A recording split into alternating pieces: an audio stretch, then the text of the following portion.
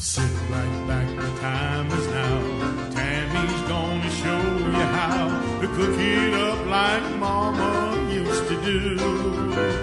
Well, she makes it easy. She shows you tricks before too long and all real quick. And Hey y'all, it's Chris and Tammy with Collard Valley Cooks. Today we're making such a delicious breakfast casserole. It's called a fireman's breakfast casserole and boy is it good with our swaggerty sausage. Let's get started. All right, I've started with half my onion. I have cut off the, not the root side, the other side. And you want to keep the root side on so that, that it clings to each other. And then when you cut, cut it, you want to kind of cut it at a diagonal down the onion and that way you don't have to make a slice through the middle. You know, you don't have to go this direction if you do the diagonal cut. Actually, a viewer sent me this the other day and I watched the video and uh, learned how to do it. And then you just chop it. And then when you get to the end, I'll show you how, how you cut the rest of it up.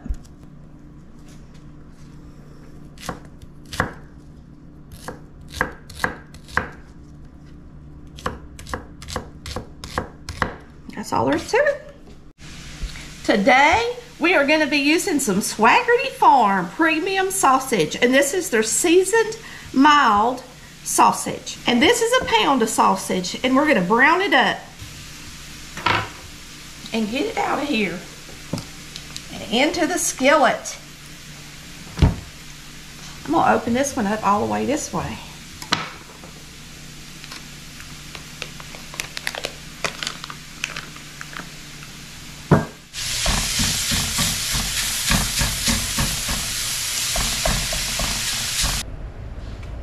All right, we have browned our sausage. I'm going to add a little bit of butter to it. And it's just all going in the casserole, okay? And then we're going to add our peppers and onion to it. And we're going to let these onions and peppers cook inside the sausage and butter for a few minutes while we prepare the bottom part of our casserole. So you want to brown your sausage first and then cook these onions and peppers in your sausage with some butter. Now, of course, if you're making this for kids, you can leave the peppers out or the onions or cut them really tiny. But this is a fireman's casserole, so these are for grown people. you can also add some mushrooms to it. I didn't have any mushrooms, but if you have some fresh mushrooms, you could cook them in here.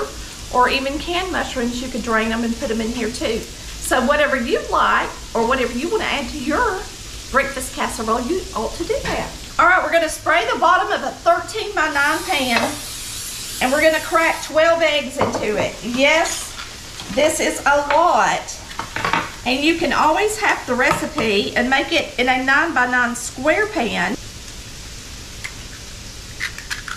So you're going to crack all 12 eggs into the bottom. And I'm hoping this cooks up and I can slice it. But I haven't made this before. It's a recipe I thought would be really good with our Swaggerty sausage. And so we'll see how it serves up when it gets done coming out of the oven. All right, now you're gonna take a fork and you're gonna bust the yellows. And it says you can just lightly scramble them if you want to. I think I'll do that. Just lightly. See how it's doing.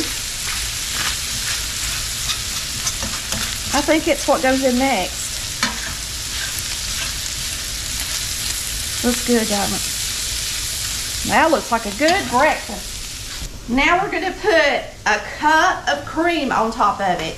Now you can use a heavy whipping cream, a whole milk if that's what you got. I'm using half and half. I think half and half is a good medium choice. It's actually half heavy whipping cream mixed with half whole milk. And that's why it's called half and half. So it's kind of like you're putting a little bit of both in there and it's a nice combo. You're gonna need a whole pound of cheese. And remember, a lot of these packages you're picking up today at the store are only eight ounces. You're gonna need a pound of cheese. So you're gonna need two of those packages or one pound bag. And it costs for cheddar. I don't have any, I'm all out, so I'm using what I got. I'm using a Mexican blend. So of course, use what you got. Right now, groceries are too expensive not to. So if you picked up Mexican blend thinking that's what you were gonna make something with, then you use what you got. And now we're gonna put our sausage and onion on top of the cheese. And just kind of scrape it out a little bit at a time and try to get it in there evenly. So if you're a fireman and it's time for you to do breakfast, I'm sure y'all got some really good recipes that you like to use, but you should give Swaggerty sausage a try too with this fireman's casserole. And remember, we added butter to that, so it looks a little greasy going in, but it's butter. And we all know we like butter on our eggs, right? It says you can salt and pepper it, so I guess we'll do that right quick. Just a little salt. And cheese is salty, so if you don't want to add the extra salt, you don't have to. And just a little pepper. And if you just want to pepper the eggs at the bottom before you start, that's fine too. Just put a little pepper on. All right, now we're just gonna top it with the rest of the cheese and we're gonna get it in the oven and bake it. That's a lot of cheese going in here. Really, I shouldn't have put any more salt in it. So remember that. I kind of doubt it even, even would have needed any salt with this much cheese in it. We're gonna bake this at 350 degrees for an hour. So let's get this in the oven.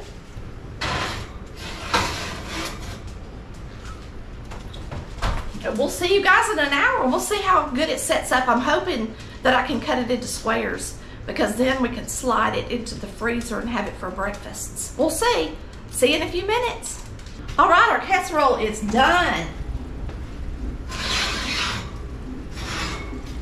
It's nice and toasty brown, bubbly.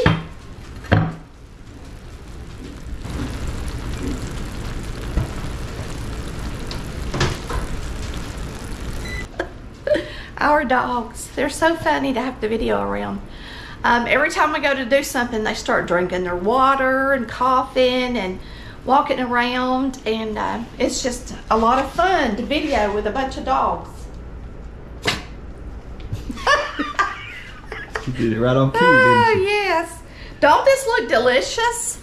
Now, I'm hoping it's going to slice nice so that we can serve it up and freeze it. Um, I'm going to go ahead and try to cut it while it's hot, and we're just going to see what happens. Oh, yeah. This is what I was hoping for. It almost sets up like a quiche, you know, without the bottom. Now, I know a lot of casseroles, people actually crumble up bread and put in the bottom. I've seen them with croutons down in the bottom. And of course you can do that. And I'm gonna make one that has hash browns in it, but this was the first one I wanted to make.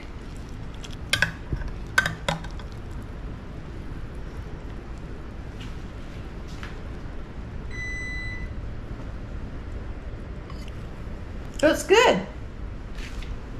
It's a lot of it. I'll pick this one up and let you see it in the middle. You can see the layers. It's smoking hot. So you're gonna wanna eat this hot with some crusty bread.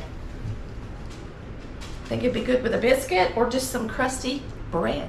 Don't you, Daddy? I think so. All right, we're gonna give it a try. Let's taste it.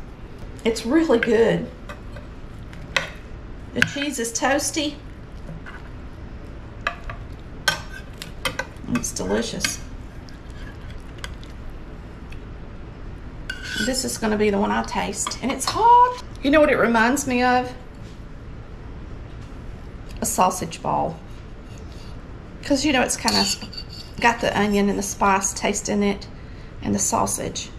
Um, so it reminds me kind of a like a sausage ball.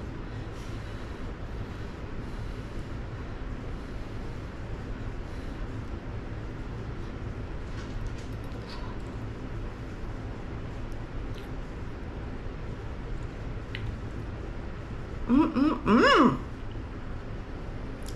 Now that is some good stuff. Really good. I'm gonna let Chris taste of it too. We'll let Chris taste it.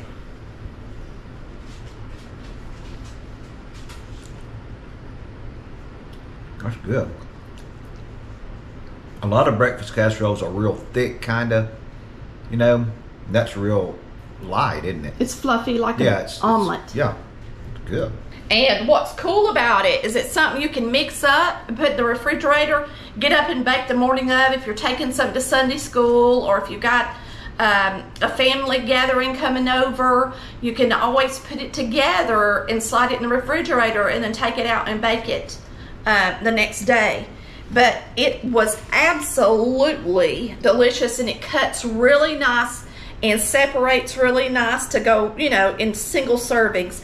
Me and Chris are going to take a bunch of these and we are going to freeze them and then we can heat them up in the mornings for breakfast You can in really the air taste fryer. uh, you can really taste the sausage in it too. Oh, it's I mean, it- delicious. It, really stands out. Yes. I'm going to tell you, Swaggerty sausage is what makes it taste so good. If you don't believe me, order some. I can guarantee you, if you try Swaggerty sausage, you're going to love it. You can see by all the comments people are making on the videos that I'm making for Swaggerty sausage how much it's loved. So give it a try. All right? We'll see you next time on Collard Valley Cooks, where we cook like our mamas did. I love ya. Tammy, she just showed you how to cook it up like Mama used to do.